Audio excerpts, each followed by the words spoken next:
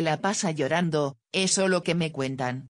Se había ilusionado con un regreso porque tuvieron un reencuentro de una noche, informaron. Esa vuelta se dio a principios de julio. Coincidió con el libertario.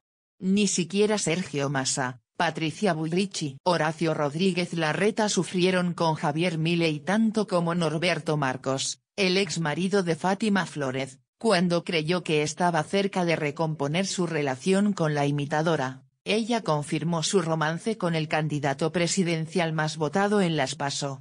El productor cayó en un pozo depresivo de inmediato. Según contó Nancy Duré en Socios del Espectáculo, Norberto está devastado completamente, un estado anímico parecido al que sufría hace unos meses cuando se confirmó la separación de la pareja, que llevaba más de 20 años de duración. Él está en su casa de Belgrano, y no quiere ni puede salir de ahí aseguró la periodista. Lo que dicen es que el hombre no para de llorar, agregó Nancy Dure, a quien sus compañeros señalaron por qué se sale de la vaina para dar toda la información que consiguió en estas horas. Para la panelista de Lucichi Payares, él está angustiadísimo porque se enteró en estas horas, en una reunión, y se puso muy mal. El bajón de Norberto se debe a que estaba ilusionado con volver con Fátima, él pensó que estaban cerca de una reconciliación, y tenía una gran expectativa de que sucediera. Era lo que él quería.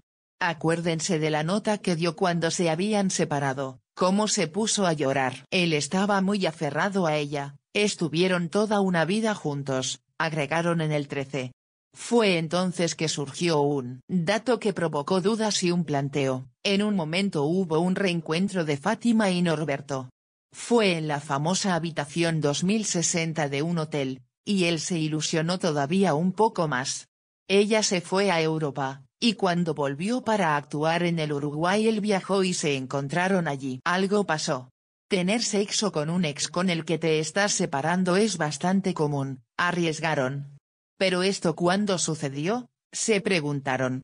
Miley dijo que están saliendo hace 45 días, no coinciden los tiempos. Ojo ahí, fue la pregunta que abrió inmediatamente otra duda. Fátima engañó a Miley en el arranque de su vínculo. En el programa se encargaron de desmentirlo, pero no fueron tan contundentes, por poquito, pero parece que no coincidieron.